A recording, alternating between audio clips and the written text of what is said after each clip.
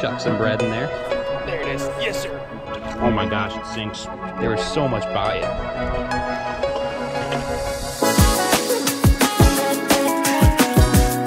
So as you can tell by the title of today's video, yes, we're doing another minnow trap. And that is because of this comment right here. And I listen to all of your comments. But before we get into making this minnow trap, I have a word from today's video sponsor, which is me.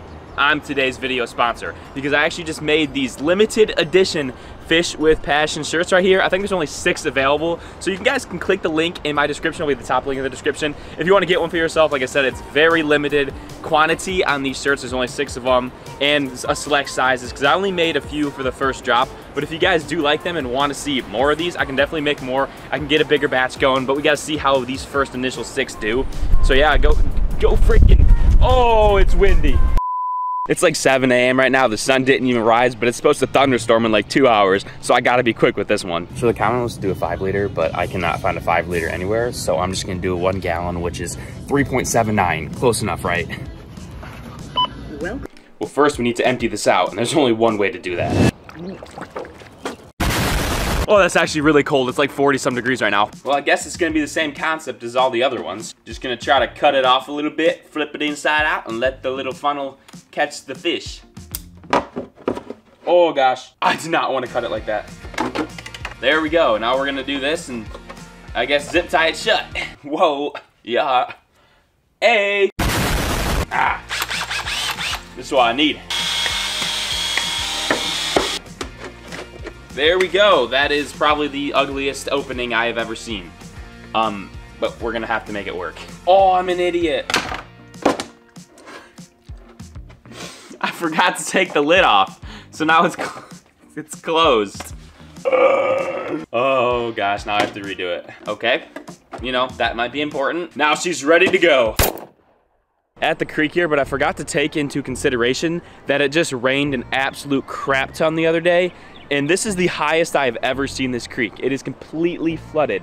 And usually when it's flooded, the fish just absolutely disappear because it's so rapid. So I don't know if I'm gonna get anything, but we're gonna throw it in there and try because I'm here anyways. The bait of choice per usual is just little chunks of bread right here. All right, let's see how this works. I need to fill up. There we go. She's sinking, that's a good sign. Oh gosh, that's strong rapids. I need rocks, it's not sinking. This is not going very well. We're gonna put some rocks in there. That should definitely make it sink, that was a lot of rocks.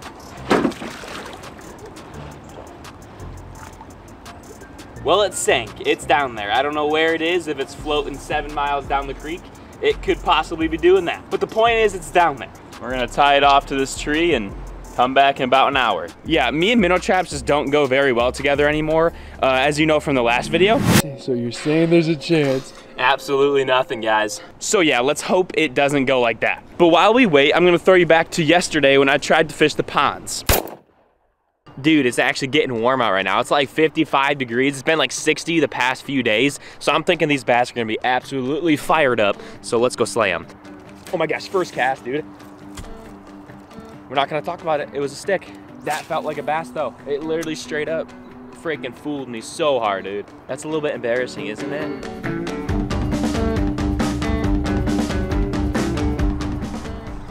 There it is. Yes, sir. Oh my gosh. It's not fighting back. Can't believe I keep doing this, dude. Oh my gosh, it's not even funny anymore. It literally, it's just sad at this point that I keep doing that. Oh goodness. It's like, cause I genuinely think it's a fish though. So that's just the sad part. All right, moment of truth. Let's pull her in. Well, I don't see anything, but let's cut it open. Yep, absolutely nothing at all. We're gonna come back on a better day because it's starting to pour now. So I gotta run because this camera's gonna get soaked. It is exactly one week later and I got the milk jug back at the creek. As you can tell, it is a lot lower. It's actually like 80 degrees today. It's freaking hot as nuts, dude. Holy crap. I got a freaking tank top on. It's literally April 12th or something like that. And it's already 80 degrees. That is just unheard of in Michigan. It's usually not this warm this time of year. It's usually around like 50 some degrees right now, but we completely skipped spring, went straight to summer, but that's cool. Anyways, the creek is looking nice and calm. I'm sure I'll catch a fish in there today. At least I really hope. Chuck some bread in there. Variety Quick as bait. All right, let's fill her up with water. I already put some rocks in there, so it should sink, at least theoretically. Oh my gosh, it sinks. That's freaking amazing, dude. Let's just launch her right out there. Right about there should be good, honestly. I ain't gonna lie. All right, tie her off. Come back in like 30 minutes or something. All right, it's been approximately 30 minutes. Let's check this trap and see what we got. There's gotta be fish in here. There was so much by it. Oh yeah, we got him, folks. There was a frick ton of fish in there, dude. The dang gallon jug worked, y'all. Oh gosh. Dude, look at that. Holy crap, dude. Look at the size of that freaking chub, guys. We caught a freaking big one, dude. That's what you like to see. All right, bud. Oh, see you later. All right, this worked a lot better than my last trap did, that is for sure. But look at these dudes right there.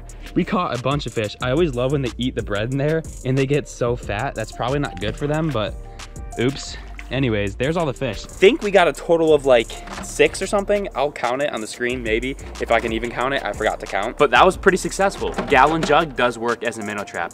You heard it here first. Well, there you have it, folks. I caught freaking minnows, or I guess fish at this point. They're not really that small. I don't classify them as minnows. But we caught fish in the gallon jug. That is freaking sweet. You can use that as a fish trap. Pretty cheap. It's like a dollar or something for a gallon jug of water. Just chug the water, and then there you go. You got a minnow trap. You don't got to spend a bunch of money on a minnow trap, you know?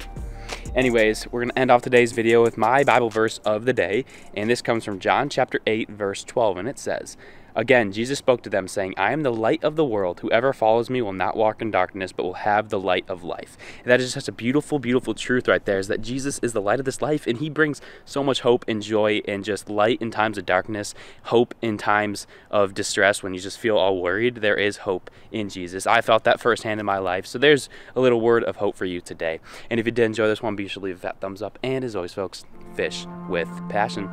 Uh, Somebody come and save me? I just wanna know. I wanna know.